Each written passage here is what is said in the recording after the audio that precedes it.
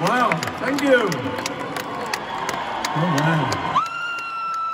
Okay, you're a great crowd already. I'm going to take a minute here. I'm going to take a moment just to drink it all in for myself.